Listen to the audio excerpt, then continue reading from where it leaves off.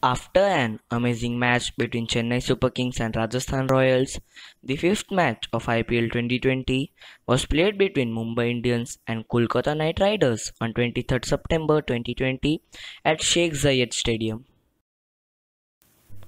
At toss time, Kolkata Knight Riders won the toss and elected to bowl first.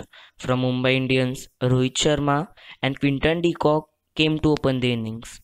But it was not a good start for Mumbai Indians as Quinton de Kock was dismissed by Shivam Mavi during the second over. Then the partnership between Rohit Sharma and Surya Kumar Yadav stabilized the Mumbai innings.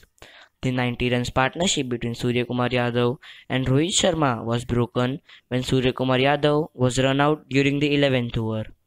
There was another nice 49 runs partnership between Saurabh Tiwari and Rohit Sharma, which was broken by Sunil Narayan when he took the wicket of Saurabh Tiwari, with Pat Cummins taking a fine catch.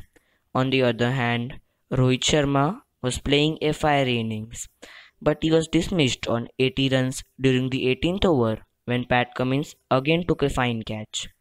During the 19th over, there was a very unique way in which Hardik Pandya was dismissed as he hit his own stumps.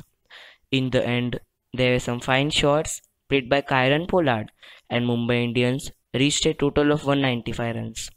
Kolkata Knight Riders needed to score 196 runs if they had to win the match.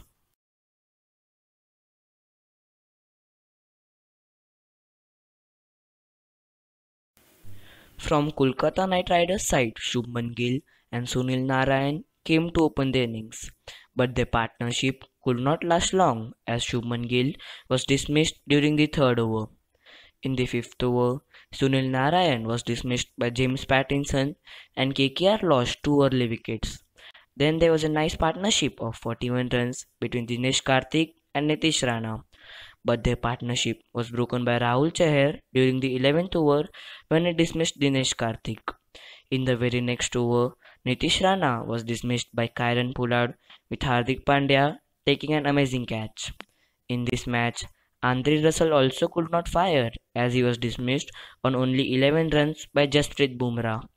The fall of wickets continued as KKR lost two wickets in the next two overs. Then there was a fiery batting performance by Pat Cummins as he scored 33 runs in just 12 balls. Then again, KKR lost two wickets in the last two overs of the match. At the end of the 20th over, KKR reached a score of 146 runs and Mumbai Indians won the match by 49 runs. Rohit Sharma was named as man of the match for his amazing batting performance of 80 runs.